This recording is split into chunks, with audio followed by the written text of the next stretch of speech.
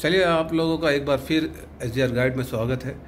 और आज का टॉपिक है, use of disc cutter and portable hand held grinding machines. Okay? तो जैसा कि आप लोग जानते हैं कि मैंने इंग्लिश का हिंदी में ट्रांसलेट कर दिया गया है और आप लोग बहुत आसानी से समझ सकते हैं सारी चीज़ें। तो सारे पॉइंट दे दिए गए हैं और आप लोग पढ़िए, समझिए। अगर कुछ और आप लोगों से गुजारिश है रिक्वेस्ट है मेरी, कि अगर आप लोग वीडियो देखने के बाद लाइक करिए सब्सक्राइब करिए बेल आइकॉन बेल आइकॉन पर क्लिक करिए कमेंट्स करिए, ताकि मुझे थोड़ा इंटरेस्ट आए कि भाई हाँ मेरे जो चाहने वाले हैं, जो लोग, उन लोग को वीडियो पसंद आ रहा है, और मैं और भी मेहनत करूँ इसके पीछे।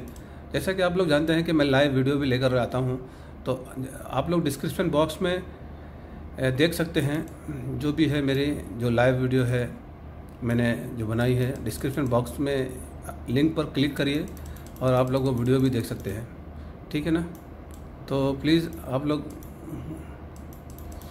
कमेंट करिए लाइक करिए और सब्सक्राइब करिए। क्योंकि मैं देखता हूँ कि काफ़ी लोग देखते हैं लेकिन सब्सक्राइब नहीं करते। मैं मैं मैं नहीं, अगर कोई भी वीडियो अगर यूट्यूबर जो बना के भेजता है, वीडियो, वो काफ़ी मेहनत करता है आप वीडियो के ऊपर। ठीक है ना? तो थोड़ी मेहनत लगती है तो आप लोग का भी थोड़ा, आप लोग को सारी हेल्प करने के लिए यूट्यूबर मतलब आप लोग कुछ भी खोजते हो तो मिल जाता है। तो यूट्यूबर के बदौलत। सही है ना? तो उन लोगों को लाइक कर दिया करो सब्सक्राइब कर दिया करो तो मुझे भी लाइक कर दिया करो सब्सक्राइब कर दिया करो। बड़ी मेहनत लगती है। इजी इजी टास्क नहीं है कि काम करके, अपना काम करके और ये दूसरा काम करना, ठीक है?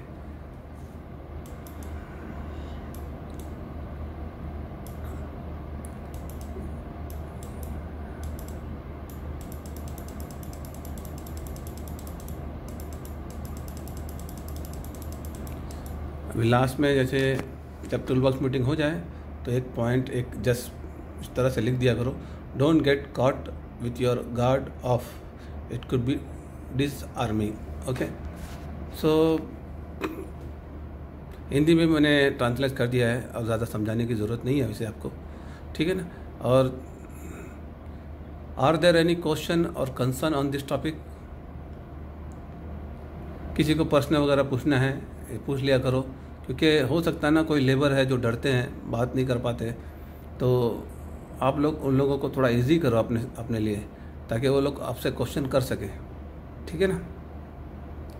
चलिए लास्ट में जो एक और है पॉइंट जैसे मैंने बताया कि ये लिख कर सुपरवाइज़र से सिग्नेचर ले लिया करो डॉक्यूमेंटेशन प्रॉपर कर करा करो। ठीक है? चलिए, चलते हैं। फिर मिलेंगे हम लोग नई वीडियो के साथ। Thank you